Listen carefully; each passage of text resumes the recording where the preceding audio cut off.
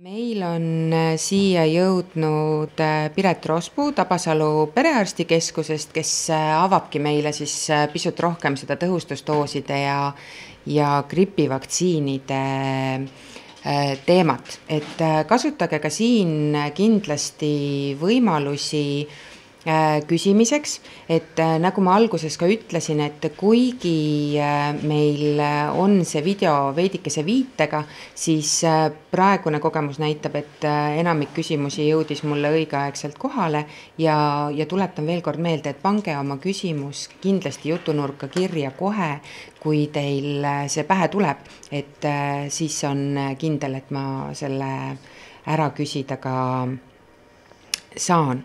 et aga nagu ma siis ütlesin, et, et saate nüüd kuulda otse perearstilt äh, nende äh, tõhustusdooside ja gripivaktsiinide kohta, et, äh, et praegu see on ka äh, oluline teema kindlasti teie jaoks, sellepärast et praegu on aeg käes äh, nende gripivaktsiinide tegemisele ja ma usun, et nii äh, nii äh, klientidel kui ka töötajatel on tekkinud küsimusi selle kohta, kuidas, kui pikk peab olema vahe nende kahe vaktsiini vahel, äh, kas neil võib olla mingisuguseid koostoimeid ja nii edasi, nii edasi.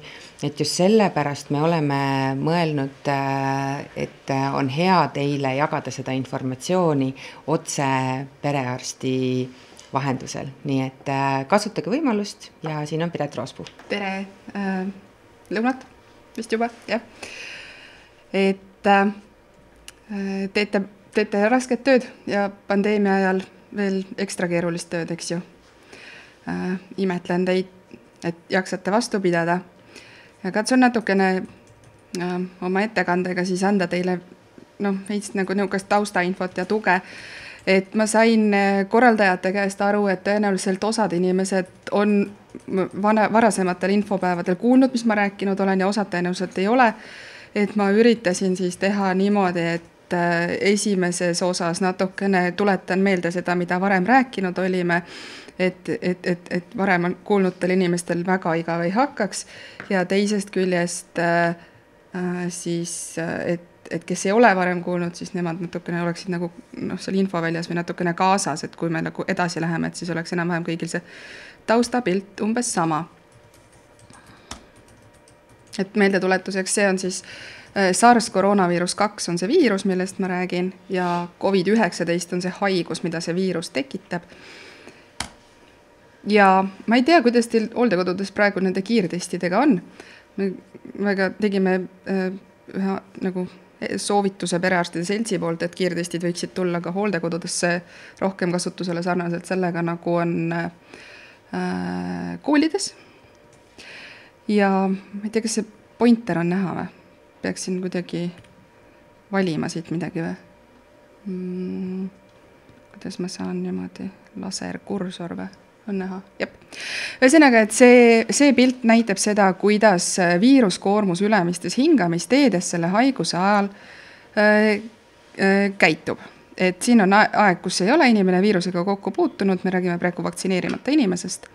päev null on see, kui inimene nakatub äh,, puutub siis kokku nakkusohtliku inimesega äh,. mõnda aega see viirus tema ülemistes hingamisteedes paljuneb ja, ja tegelikult juba mõned päevad enne nak-, äh, nakkustunnuste ehk haigusnähkude avaldumist hakkab viiruskoormus ülemistes hingamisteedes äh, suurenema. ja ütleme siit sellest äh, ülemisest joonest ülevalpool on see nagu kõige-kõige nakkusohtlikum periood, kus ülemistes hingamisteedes on elusat viirust kõige-kõige rohkem ja siis mingi hetk immuunsüsteem ikkagi käivitub ja hakkab viirusele piiri peale panema ja siis viiruskoormus vähehaaval langeb, kuni siis kaob lõpuks kehast täiesti ära. nüüd PCR-testid, need, mis olid meil pikalt ja on praegu jätkuvalt kõige rohkem kasutuses, PCR-testid on väga tundlikud ja leiavad üles juba päris madala äh, viiruskoormuse äh,, ehk siis juba nad hakkavad äh,, testid hakkavad näitama positiivset tulemust üks-kaks päeva enne haigusnähtude tekkimist ja võivad jääda näitama kuni üheksakümmend päeva. ehk siis see jääkpositiivsus, kui on juba ammu viirus ära neutraliseeritud, ta ei ole ohtlik, ta enam ei tekita haigust, aga, aga need viiruse osakesed on leitavad, PCR-test seda leiab päris pikalt antigeeni kiirtestid leiavad üles ainult selle mõned päevad kõige-kõige nakkusohtlikumat perioodi. ehk siis see on see eh, põhjus, miks need testid natukene erinevalt näitavad, et kui teil tuleb see rutiinne kiirtestide tegemine, ma ei tea, kuidas, ma ei tea, kuidas see seis sellega on, siis ühesõnaga, et, et saate aru, et see, et see kiirtestid näitavad seda kõige nakkusohtlikumat mõnda päeva ja, ja, ja, ja see on see, eh, see on see erinevus nende kahe testi vahel Covidi peiteaeg on siis võib-olla kaks päeva, aga võib-olla ka isegi kuni kaks nädalat, et suuremal osal inimestest kuskil viiendal haiguspäeval see haigusnähud äh, avalduvad Vi, viiendal päeval pärast nakatumist keskmiselt. kõige sagedasemad haigusnähud on palavik, nohuköha äh, ja üldine nõrkus, väsimus, jõuetus aga võivad olla ka valud erinevates kehapiirkondades. hästi iseloomulik on rindkerevalu, just näidatakse nagu siia rinnaku taha ja, ja niisugused pigem nagu terava iseloomuga valud.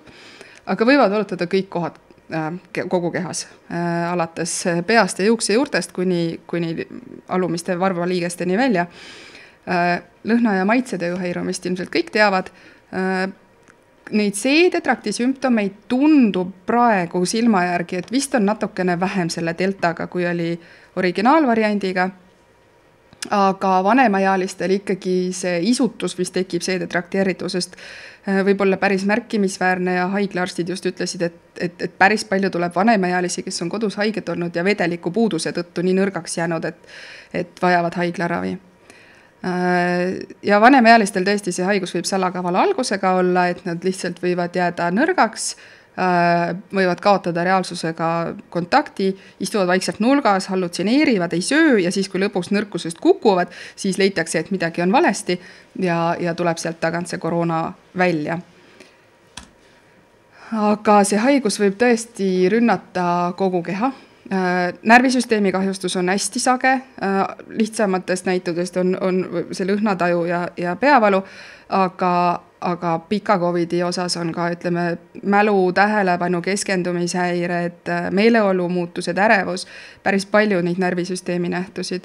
neerukahjustus, maksakahjustus võivad olla ägeda haiguse ajal, aga võivad tekkida ka aasta jooksul pärast koroona põdemist. Äh, trombid on väga suur probleem, eriti haiglaravi vajavatel patsientidel. Äh, südamekahjustus võib olla põletikest rütmihäireteni, igat sorti erinevaid. Äh, naha, nahalööbed võivad olla ka päris, päris paljud erinevad. Õnneks suurem osa Covidi haigeid põevad kodus aga trikikoht on siin see, et me ei tea ette, kes on need, kes raskelt põevad, sest et raskelt võivad põdeda ka lapsed, raskelt võivad põdeda ka noored täiskasvanud. ja teisest küljest väga kergelt võivad põdeda ka väga, ütleme, keda me kõrge riski inimesteks peame, üle kaheksakümne aastased, võib-olla isegi hooldekodus elavad ja siis teevad selle nagu lipsti läbi, et me ei oska seda ette öelda, kes on kes. ja sellepärast me ütleme, ohutusmeetmeid ja vaktsineerimist peame rakendama kõikidele nüüd on teada see, et kes on Covidit ägedalt põdenud, nendest osadel ei lähe need kaebused üle ja, ja kestavad ja kestavad ja, ja mul oli patsient, kellel juba üle aasta tegelikult ei ole päris lahti sellest äh, Covidi tekitatud probleemidest saanud. ka siis, kui on äge Covid ära põetud ja haiglaravilt saadud kas siis koju või hooldusasutusse Äh, nendel haigetel tegelikult on ka edaspidi palju probleeme tervisega, neil võivad tekkida südame-veresoonkonna probleemid, südame puudulikkus äh, võib esi-, esmakordselt tekkida või olemasolev puudulikkus võib halvemaks minna.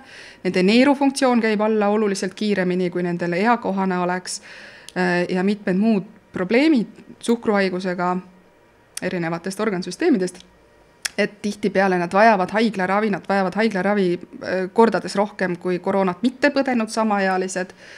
ja, ja nad tegelikult surevad ka rohkem kui, kui koroonat mitte põdenud samaealised, ainult et need surmad nüüd ei lähe koroonasurmadena kirja.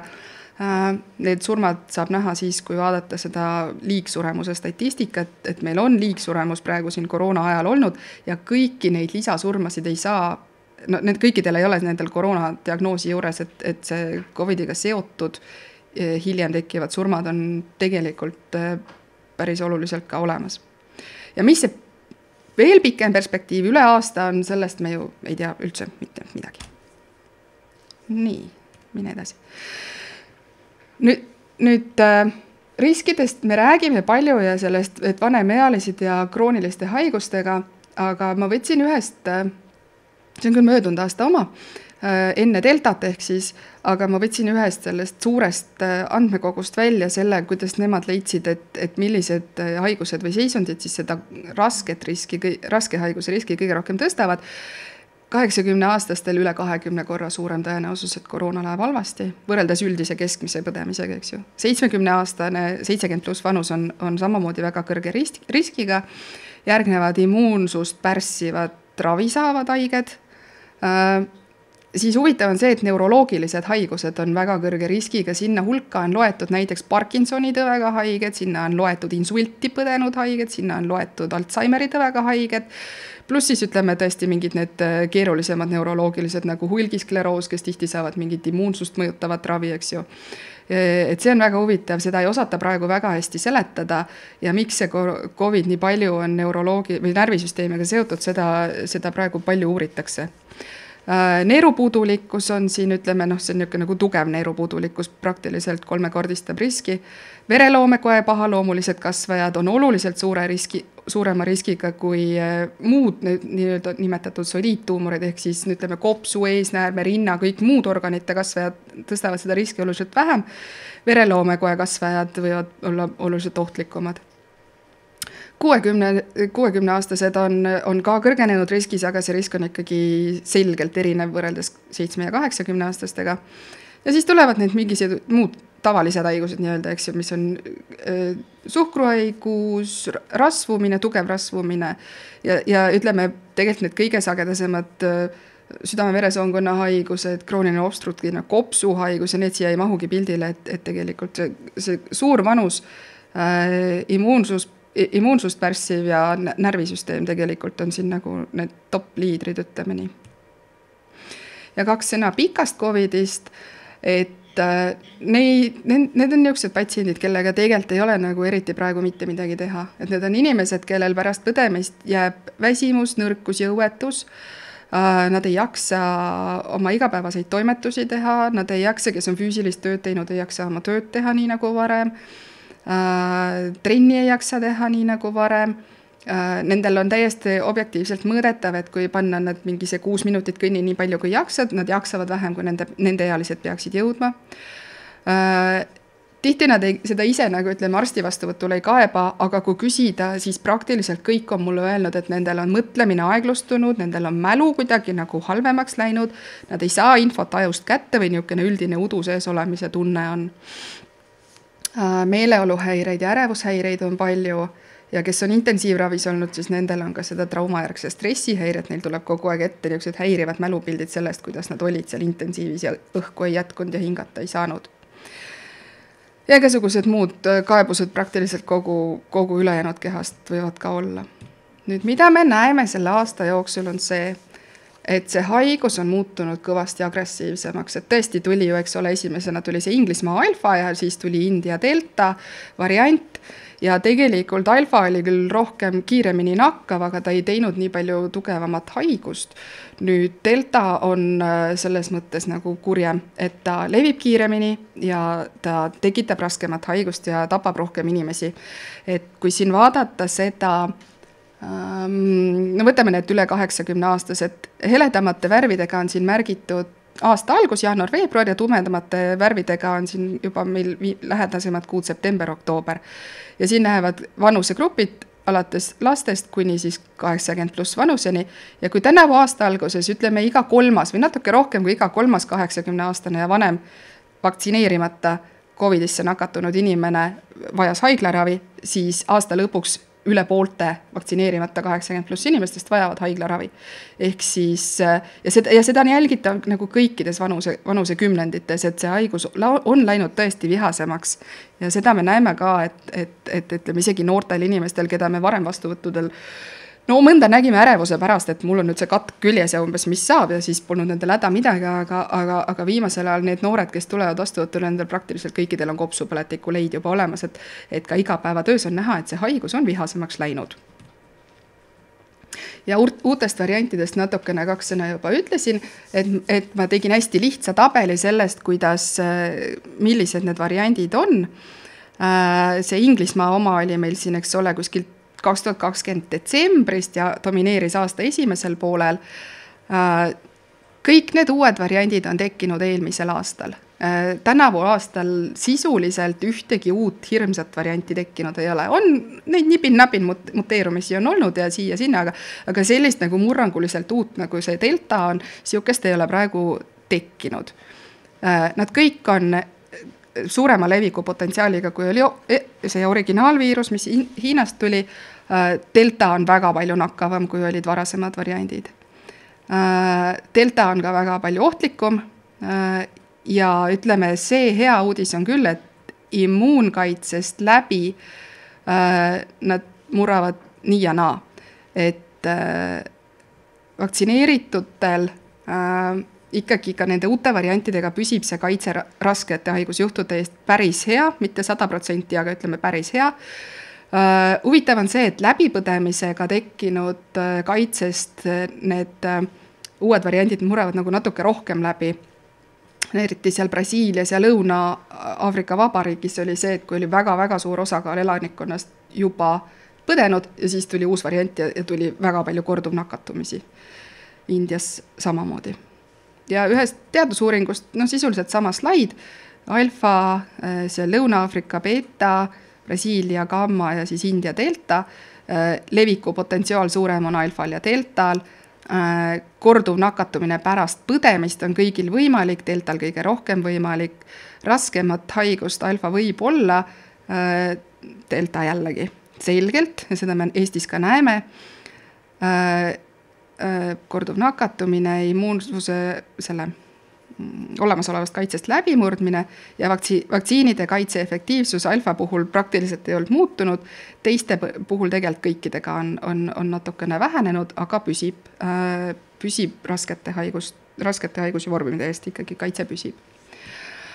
nüüd, miks ei ole tekkinud tänavu aastal uusi ohtlikke variante, see on päris hea küsimus, see huvitab kõiki ja üks võimalik selgitus, ma ei ütle, et see on täielik tõde ja, ja kindel vastus, aga üks võimalik selgitus on see, et tegelikult nendes uutes variantides me näeme kogu aeg, kuidas ühed ja samad mutatsioonid uuesti ja uuesti erinevates uutes variantides tekivad, et siin on märgitud mõned valitud mutatsioonid, punase kolmnurgaga märgitud üks, mis tekib siin, siin, eks ole punase kandilisega märgitud, mis tekib mõnel pool, mitmel pool, eks ole, kogu aeg ja nad saavad tegelikult lõppkokkuvõttes, nad saavad uued need variandi nimed, sest et seal on erinev kombinatsioon nendest mutatsioonidest, aga need mutatsioonid on nagu kogu aeg ühed ja samad, et ühtedes ja samades piirkondades.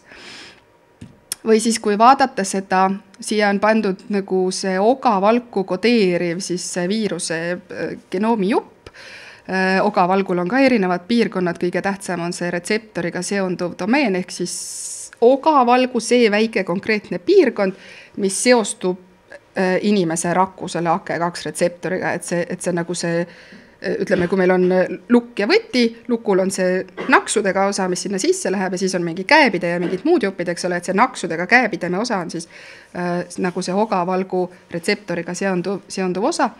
ja siin on erinevate kujud, kujudega märgitud erinevad koroonaviiruse uued variandid ja siin on märgitud siis nende piirkondade mutatsioonid, et on näha, et see üks mingi konkreetne E neli kaheksa neli positsiooni mutatsioon on üks, kaks, kolm, neli, viis, viies, viies erinevas variandis, eks ole, olemas. et need on kogu aeg ühed ja samad mutatsioonid, mis, mis, mis tekivad, et ilmselt sellel ikkagi bioloogiliselt sellel koroonaviirusel ei ole väga palju mänguruumi. ja need mutatsioonid, mis annavad talle kas siis selle immuunsuse eest plehku panemise või kiirema leviku eelise, eks ole, evolutsiooni mõttes võimalik, et me oleme neid juba kõiki näinud. ma hullult loodan, et see nii on, aga, aga, aga, aga ma kindlalt ei julge ka öelda. nii, see oli siis sellest koroonaviiruse haigusest ja natukene sellest bioloogiast.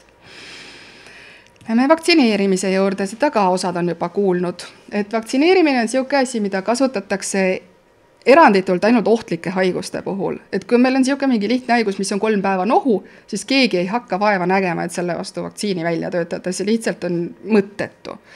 aga kui on haigused, mis on ohtlikud, mis teevad midagi paha kas inimesele endale või mõnel puhul näiteks tema järeltulijatele, äh, siis ikkagi on õige inimesi selle eest kaitsta püüda ja, ja sellel, sellistes olukordades siis püütakse seda haigustekitajat inimese immuunsüsteemile juba varem ette tutvustada, nii et, et see oleks võimalikult turvaline ja et siis hiljem selle ohtliku haigustekitajaga kohtudes juba immuunsüsteemil on mingi teadmine olemas ja ta suudab hakata äh, tegutsema mitte päris nullist, vaid juba no ütleme poolel maal.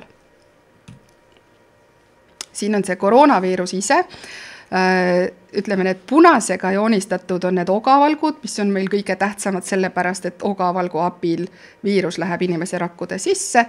Äh, ja siin on ka siin sees see väike ussikene on see koroonaviiruse RNA ehk siis tema pärilikkusaine, mis sisaldab informatsiooni uute koroonaviiruste tootmiseks. viirus läheb, ma seda pärast räägin. nii, meil on Eestis praegu kahte tüüpi vaktsiine kasutusel. Äh, kui siin on see koroonaviirus, siis kõige sagedamini me kasutame mRNA vaktsiine, kus on laboris tehtud väike jupp sellest samast koroonaviiruse RNA-st, mis kodeerib seda ogavalgu tootmist, ehk siis on õpetus ogavalgu tootmiseks. see viiakse inimese kehasse, inimese keharakud toodavad ogavalku ja immuunsüsteem saab hakata ogavalku tundma õppima. ja siis teine tüüp on need adenoviirusvektorid kasutavad vaktsiinid, kus samamoodi ogavalku kodeeriv jupp pannakse adenoviiruse sisse. adenoviiruselt lõigatakse välja need osad, mille abil äh, ta saab uusi adenoviiruseid teha, ehk siis mille abil ta saab haigust tekitama hakata, eks ju. et haigust tekitamise oskus võetakse ära, aga pannakse asemele koroonaviiruse tootmi-, selle ogavalgu tootmise õpetus. keha oma rakud toodavad ogavalku ja immuunsüsteem saab äh, ogavalku tundma õppida äh, koroonaviiruse vastu on palju erinevaid tüüpe vaktsiine veel uuringutes ja mõned on maailmas juba kasutusel ka, aga Eestis on meil ainult need kaks varianti. nüüd see on normaalne inimese enda rakk siin on raku väline membraan, äh, siin on see sinisega on tsütoplasma ja siin on tuumamembraan ja tuumamembraani sees raku tuumas on DNA. Normaalselt käib niimoodi, et kui meil on mingit valku vaja toota, siis DNA kruvitakse sealt spiraalist lahti, kirjutatakse see konkreetne vajalik valgu tegemise õpetus äh, e-, mRNA peale mRNA läheb rakutuumast välja, siis seal veel midagi sellega natukene toimetatakse ja ribosoomides tehakse selle mRNA õpetuse järgi valk ja mRNA lammutatakse ära. Meil on kehas, see toimub kogu aeg, mRNA-d kogu aeg tekitatakse ja kogu aeg lammutatakse, see on meie nagu üks põhilisi mingeid umbes elumehhanisme. ja, ja, ja selle, selle jaoks on meil väga väga head need niisugused oskused olemas. ja ütleme nagu ajalooliselt mRNA vaktsiine välja tootma hakat-, nagu välja töötama hakates oli kõige suurem probleem see, kuidas keha liiga ruttu mRNA-d ära ei lagundaks, et. et, et selle, selle nuputamiseks läks päris omajagu pikk aeg ja et see oli välja varem nuputatud me saime seda kohe kasutama hakata ja põhimõtteliselt need mRNA põhilised vaktsiinid ju kasutavad sedasama, et on väike jupp mRNA-d, mis süstitakse lihasesse, äh, siis immuunrakud võtavad selle vaktsiini enda sisse, mRNA ei lähe üldse raku tuuma, vaid sealsamas raku tsütoplasmas äh, ribosoomide peal kirjutatakse ogavalk ja immuunsüsteem saab ogavalku tundma õppida, et see kasutab põhimõtteliselt täpselt sedasama bioloogilist mehhanismi, mis meil kogu aeg nagunii käimas on. ja mis need antikehad on, mida me siis kangesti saada tahame? antikehad on sellised suured valgud nagu Y-tähe kujulised nüüd nende Y-tähe lühemates otstes on, on see osa, mis suudab väga konkreetselt ühte kindlat valku ära tunda. et see on see, mida meil vaja on. praegusel juhul siis koroonaviiruse ogavalku tunneb, tunneb ära, seob sinna ennast kinni ja sedasi on võimalik äh, erinevad need äh, ühest küljest viiruseosakesed omavahel kokku siduda ja teisest küljest koroonaviiruse ogavalk ära siduda, et ei saaks äh, nagu oma funktsioone täita. nüüd mis on veel väga kaval jupp, on see, see pikem üksikosa jääb vabaks ja sellel, kui on, kui on see nagu antikeha seot-, seondunud selle viirusega, siis see vaba jupp natukene muutub ja annab immuunrakkudele signaali, et oh, tulge siia, siin on vaja mingi asjaga tegeleda ja siin on mingid viirused, mis on vaja ära süüa. väga kavalalt kokku pandud. loomuliku nakkuse korral tekivad antikehad mitte ainult ogavalgu vastu, vaid ka selle koroonaviiruse muude pinnavalkude vastu. Aga miks see on oluline, et meil oleks just need ogavalgu vastased antikehad, on see, et kui see ogavalk tahab siduda ennast kinni inimese, inimese raku pinnal oleva valguga, siis see antikeha jääb siia vahele ja, ja seda seondumist ei saa tekkida ja viirus ei saa inimese rakku sisse minna. siin muude pinnavalkudega seondumine on täiesti suva, kui ogavalk on lahtine, siis see saab rakku minna ja hakata haigust tekitama. sellepärast on oluline, sellepärast on ainult see ogavalk välja valitud, et saaks seda nakatumise äh, mehhanismi ära takistada ja soomlastel tõesti ilus infograafika, et mis selle mRNA vaktsiini sees on, see on konkreetselt Pfizeri vaktsiini kohta nüüd tehtud.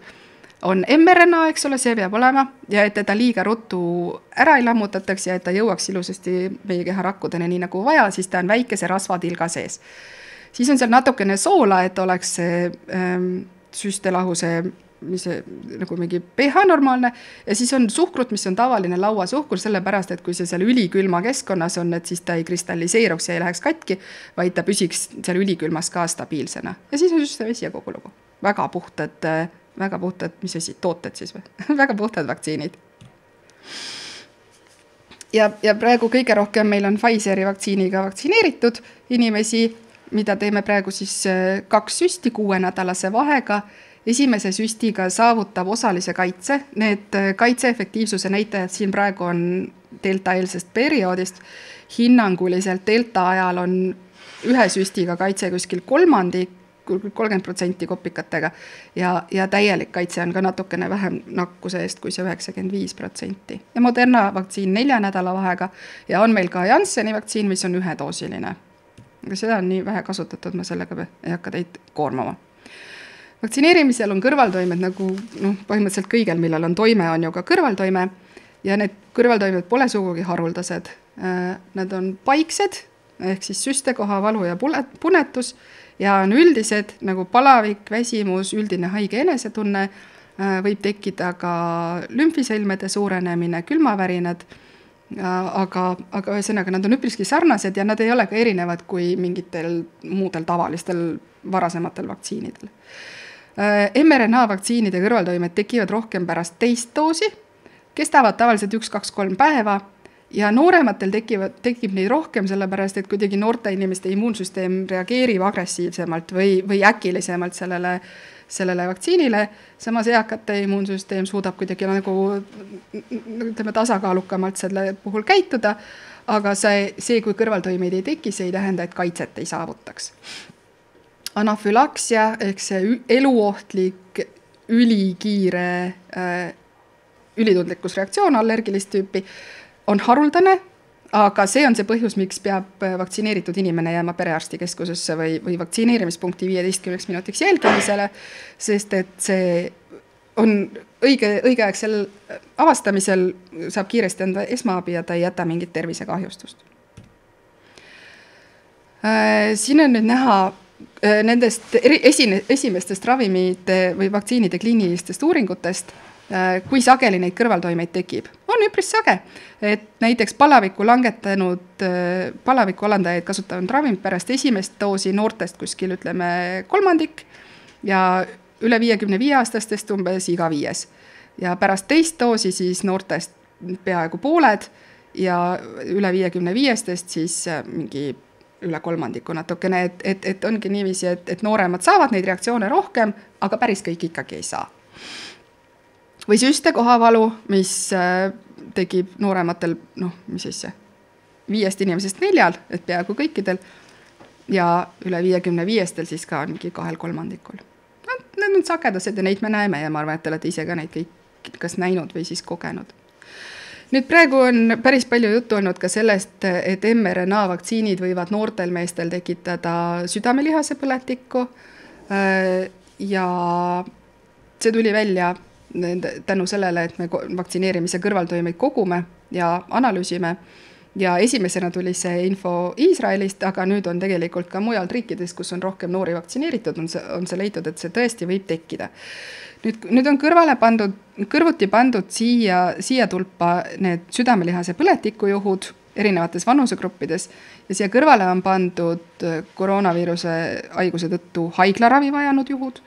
ehk siis äh, ka kõige nooremas vanusegrupis tegelikult äh, raske haiguse kulg on palju tõenäolisem kui see südamelihase põletiku teke.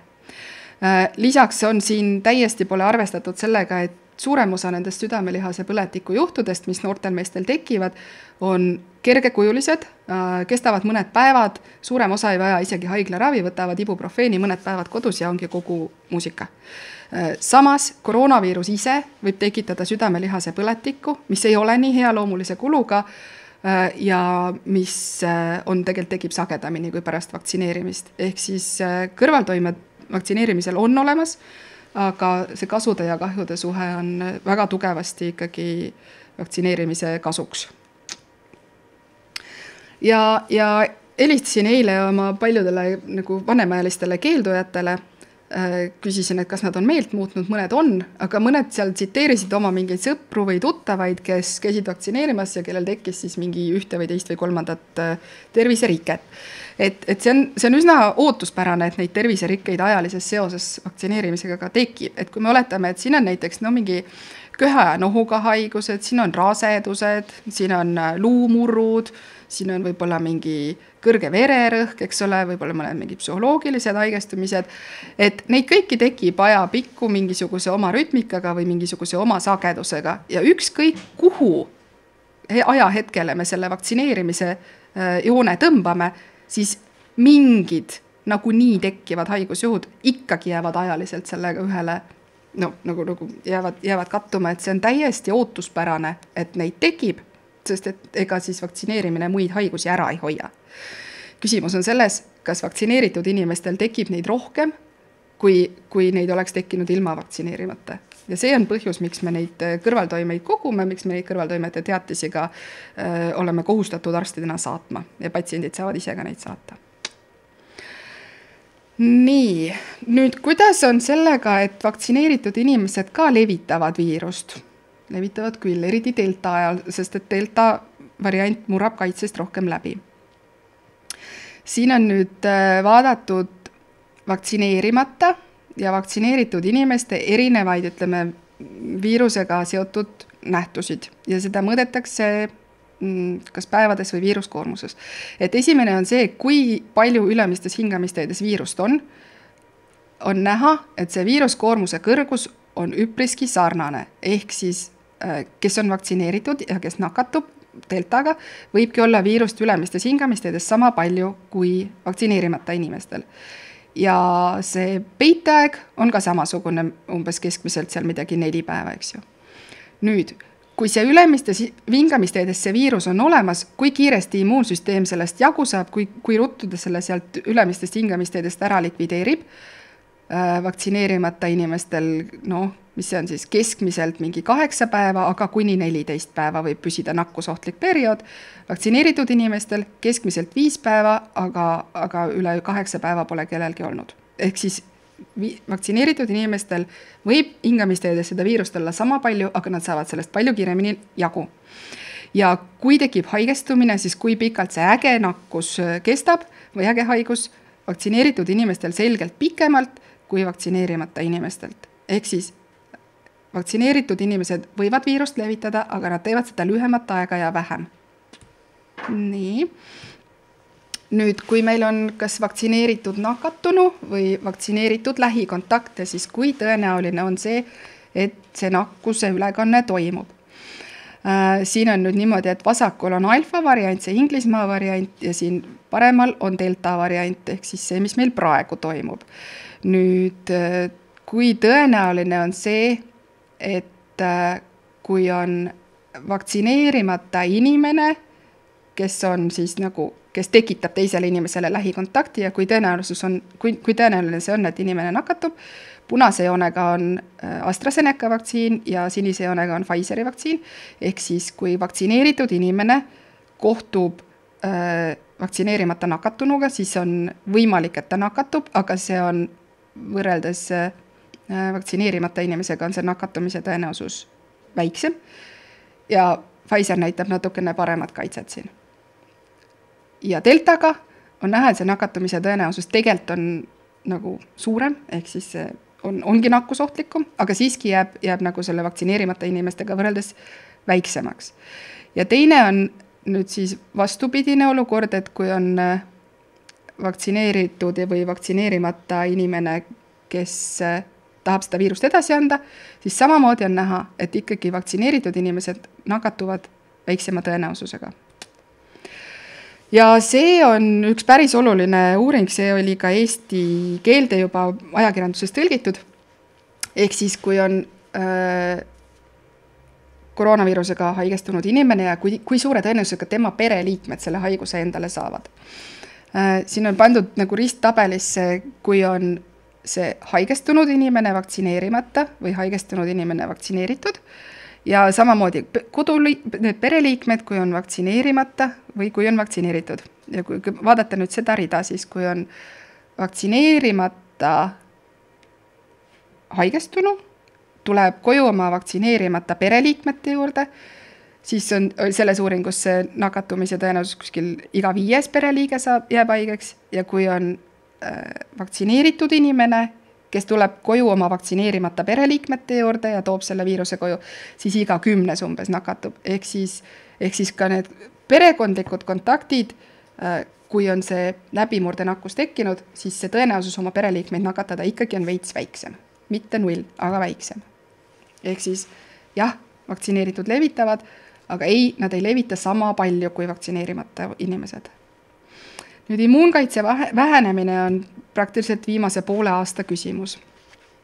et see on see esialgne, mis oli nagu täiesti märkimisväärne äh, vaktsiinide tõhususe näitaja.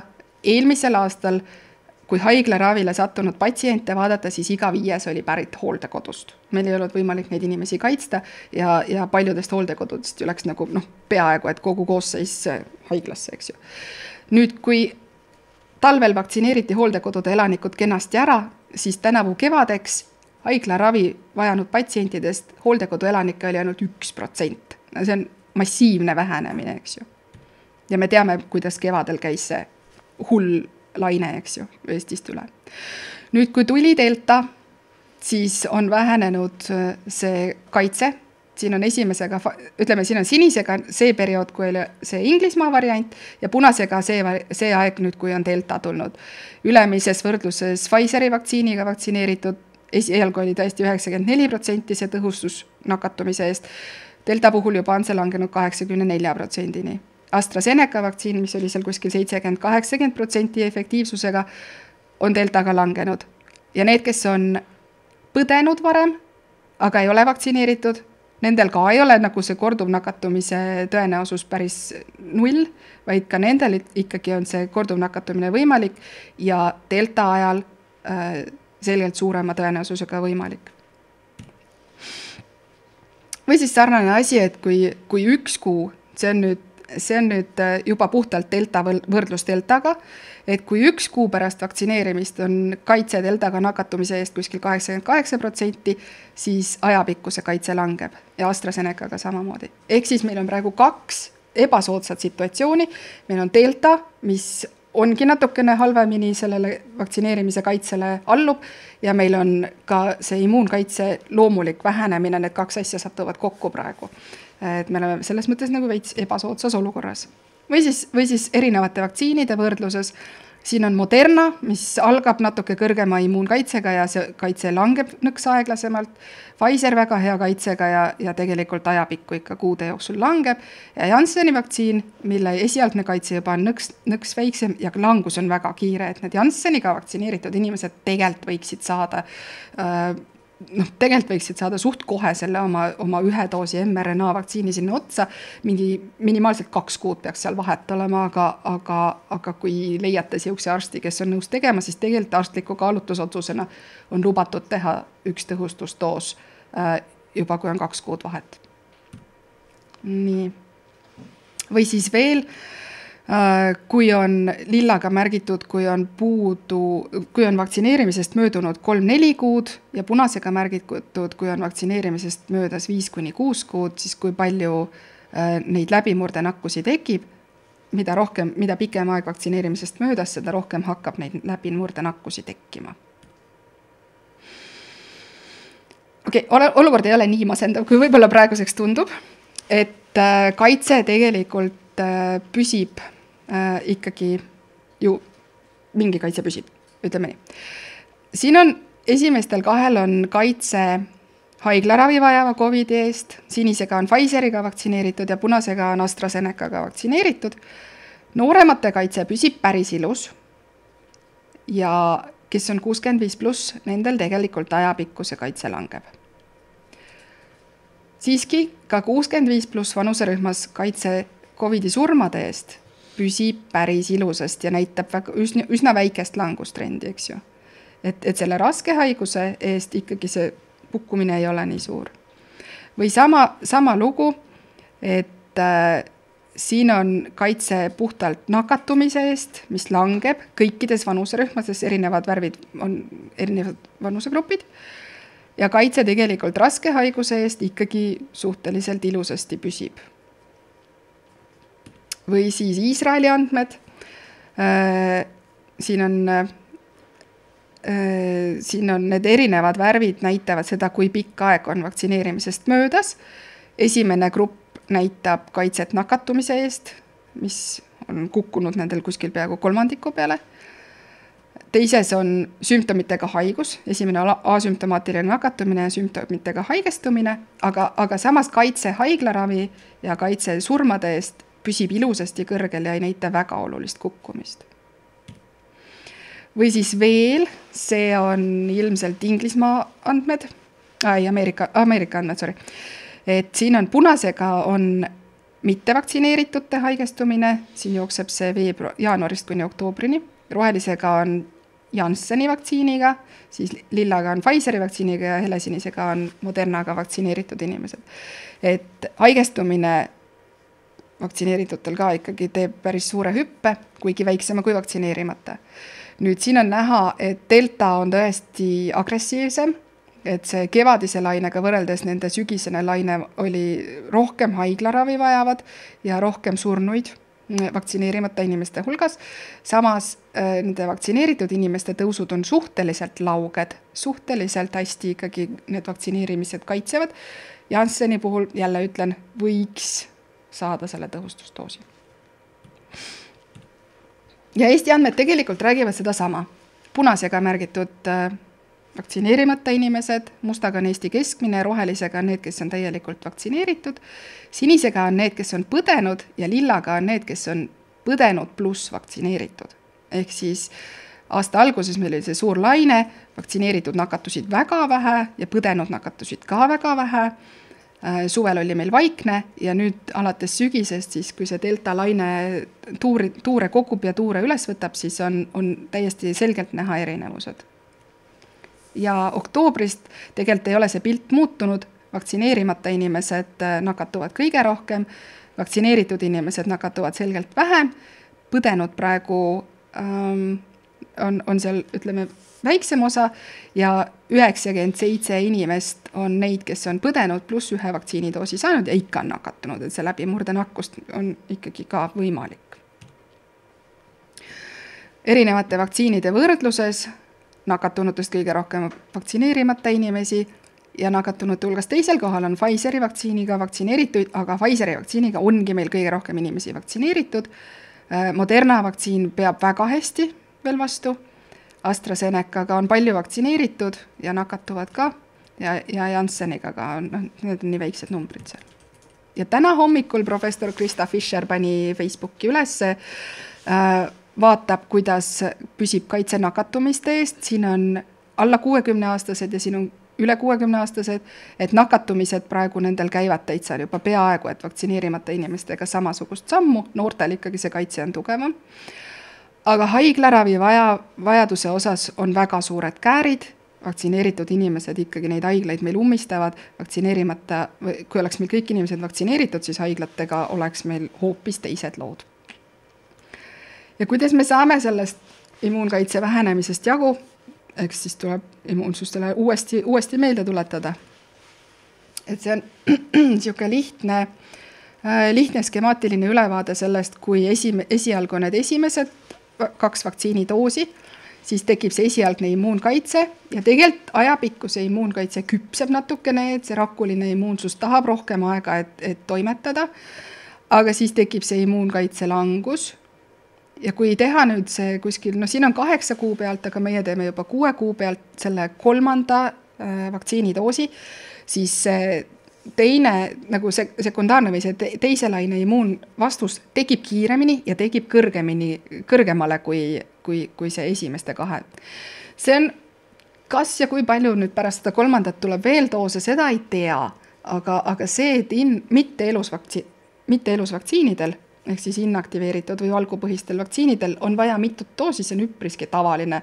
kui me mõtleme mingit difteeria, difteeria neid vaktsiine või, või pneumokoki vaktsiine, mis on, nad vajavad kõik mingi kolme-nelja doosi ja mõned vajavad kümneaastase intervalliga kogu aeg tõhustamisi, et selles mõttes see ei, ma arvan, et siin on veel kõik valikud laua peal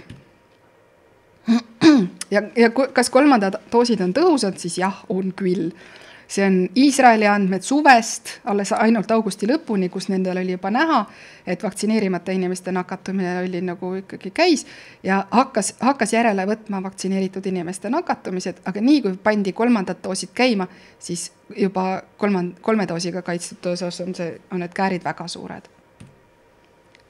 sama äh, vaktsineerimata inimeste nakatumine ja ja siin on näha ka, kui hakkasid tulema kolmandad doosid, siis vaktsineeritud inimeste nakatumine hakkas juba nina otsa allapoole keerama, et, et sellega on võimalik ikkagi see, neid läbimurdenakkusi vähendada.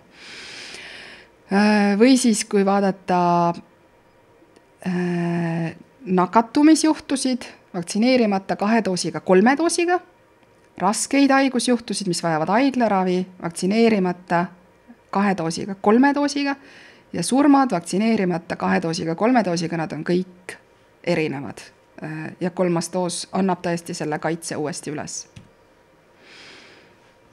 või siis äh,, minu arust see on ka Iisraelist, kus on äh, täiskasvanutest kaheksakümmend protsenti on vaktsineeritud ja, ja kui kolmandate dooside manustamine algas, siis äh, keeras see täiskasvanud vaktsineeritud inimeste Äh, nakatumine selle nina otsa alla ja kakskümmend protsenti vaktsineerimata inimesi annab palju suurema osa nakkustest kui kaheksakümmend protsenti vaktsineeritud inimesi. ehk siis kolmandad doosid tõesti on tõhusad ja praegu äh, on mõtet neid teha, sest me oleme alles novembri alguses. ja kaks sõna põdenud inimeste vaktsineerimise kohta ka, sest nagu nägime, siis põdenud inimesed võivad nakatuda et tõesti see immuunkaitse langeb, et siin on nulli peal on see, kui on nakatumine ja kui on see positiivse testi andmine. ja täpid näitavad seda, kui suur on antikehade tase, ehk siis äh, siin oranžiga on see märgitud, see ütleme, labori äralõikepiir, millest üle öeldakse, et on antikehad ja millest alla öeldakse, et noh, noh, umbes tegelikult ikkagi ei ole, on ju. et äh, põdemisega suurem osa inimestest saavutab mingisuguse varieeruva koguse antikehi, kuigi on neid, kellel tegelikult seda sisulist kaitset ei teki.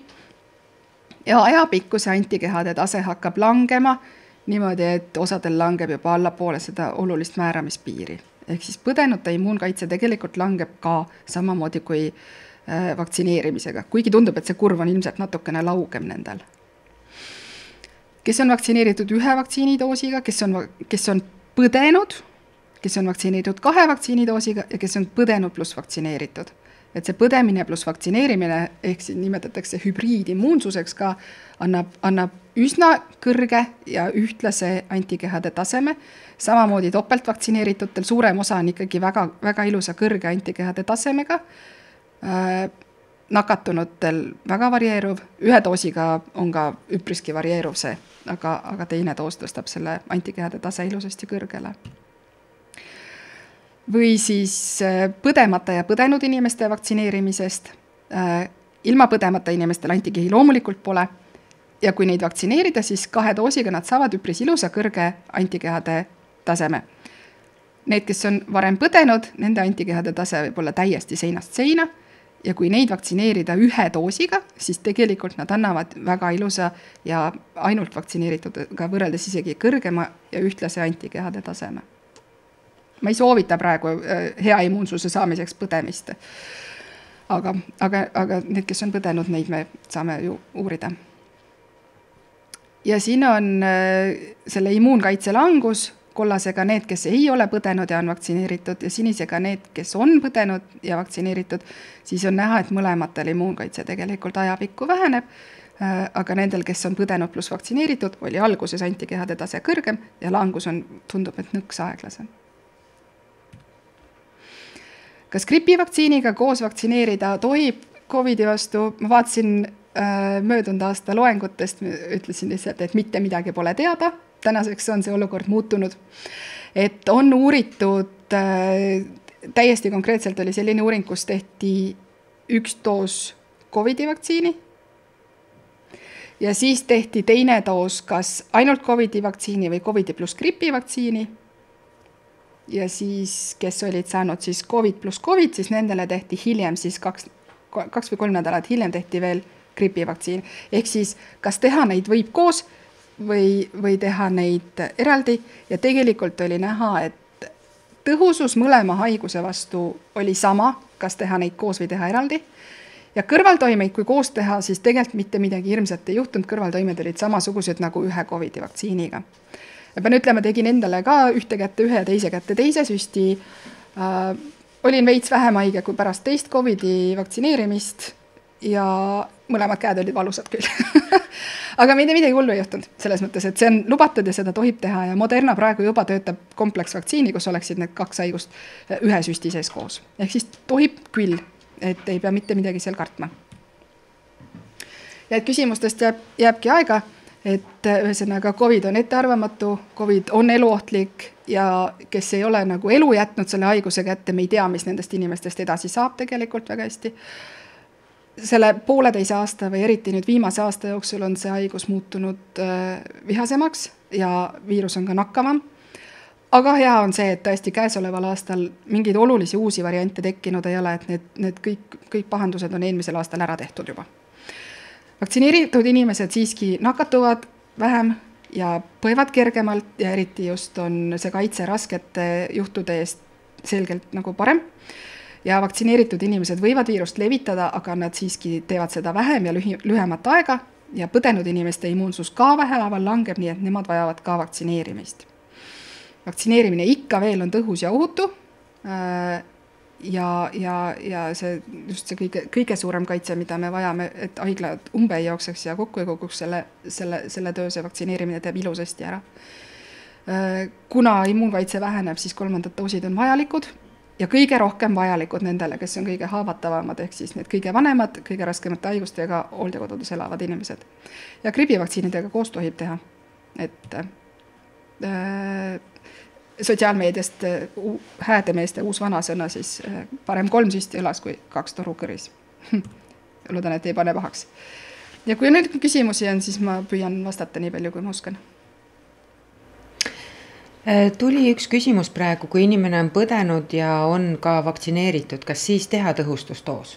see on hea küsimus, see oli eelmise loengu lõpus ka, eks ju, ma kiiresti käisin, vaatasin, meil oli oma perearstide listis seesama küsimus ja professor Marja Ona vastas, et praeguste teadmiste kohaselt need, kes on põdenud pluss saanud oma ühe vaktsiinidoosi, äh, nende kaitse on nii kõrge ja hetkel veel ei ole nagu nii oluliselt langenud, et seda teist vaktsiinisüsti nendele ei pea tegema aga kui on näiteks reisimise pärast vaja, et mõni riik nõuab, et oleks kaks süsti, no siis see ei tee midagi halba. oot, ma ütlen, oota, ma ütlen ühe täpsustuse veel. et see on, seal on. kui on möödas kuus kuud peale süsti. Siis ka praegu veel ei pea, siis ka praegu veel ei pea ütleme immuunsüsteemi mõttes praegu veel ei pea. et, et seal on, seal on üks trikikoht on see, et kui inimene Äh, on vaktsiini saanud ja haigestub vähem kui kaks nädalat pärast seda ühte vaktsiinidoosi, siis immuunsüsteemi mõttes need kaks lähevad üheks kokku. ja siis see inimene vajab sisuliselt teist süsti ka. nüüd, kes on põdenud, siis võiks saada selle oma ühe vaktsiinidoosi kuus kuud pärast põdemist, aga kui on see kuus kuud ja rohkem mööda läinud, näiteks põdes eelmise aasta, ma ei tea, juunikuus, eks ju, ja, ja praegu pole saanud, siis kui ta praegu tuleb vaktsineerima, siis tegelikult võib teda ikkagi vaktsineerida selle ühe doosiga, sest see hübriidpõdemine pluss vaktsineerimine annab hea kaitse ja, ja, ja tegelikult immuunsüsteemi mõttes nagu pole otseselt vaja, tundub, aga, aga need, kes on väga vanad ja väga nagu paljude haigustega ehk siis need, kes eelmisel aastal hooldekodudes põdesid, nende kohta on päris vähe andmeid. ja kui on teil see kolmandate dooside tegemine, ega see keelatud ei ole, et kes on ikkagi väga haavatavad ja keda me nagu tahaksime tegelikult nagu rohkem kaitsta, siis võib teha ka selle veel ühe tõhustusdoosi kui on kuus kuud mööda peale haigestunud jaanuaris, juunis sai ühe doosi, ühe doosi ja praegu detsembris nad siis eh, võivad saada. võivad saada, võivad saada, aga ütleme, kui, kui keelduvad, siis ei ole nagu maailma lõpp üks küsimus on veel tulnud, et, äh, et kui inimene on nüüd uurinud seda, kui palju tal neid antikehasid on, eks ju. ja need antikehad on olemas, et kas siis tõhustusdoosi võib äh, veel edasi lükata? veits raske öelda, see on seesama küsimus, mis on meil varem ka olnud siin laual, et kas mingisugusest antikehade tasemest alates võib öelda, et ei pea vaktsineerima. niisugust antikehade numbrit ikka veel ei ole olemas, kuna see on keerulisem ja seal on umbes niiviisi, et kui antikehade tase on langenud mingisuguse X arvuni, siis see kaitse nakatumise eest on vähenenud viiskümmend protsenti. no kas sa võtad selle viiskümmend protsenti kaitse või, või sa mõtled, et ei, viiskümmend protsenti on liiga vähe, et, et me, et seal ei ole nagu seda, et nipsust, et, et, et siin on kuuskümmend üks antikeha, siis ma olen kaitstud ja kuuskümmend antikeha, siis ma võin nakatuda, et et, et kui need antikehad on tõesti kümnetes tuhandetes, siis okei okay,, ei pea tõesti süstima, aga kui seal on mingi nelisada antikeha, ma ei saa öelda, et see nagu kaitse on mingi ideaalne, samas need antikehad on olemas, eks ju, et et siis võiks ikkagi teha et seda ei kasutata kuskil maailmas, et, et antikehade taset mõõta ja selle põhjal otsustada, et pigem ikkagi on see mm, kuude lugemine, kui kuud on täis, siis võib selle tõhustusdoosi ära teha. aitäh, rohkem mulle hetkel praegu küsimusi ei ole tulnud, suur aitäh Piret Roospuule, kes äh, minu arvates tegi küll täitsa puust ja punaseks, äh, vähemalt mulle küll, et minu küsimused, mis mul endal võib-olla olid, kadusid, äh, kadusid täitsa ära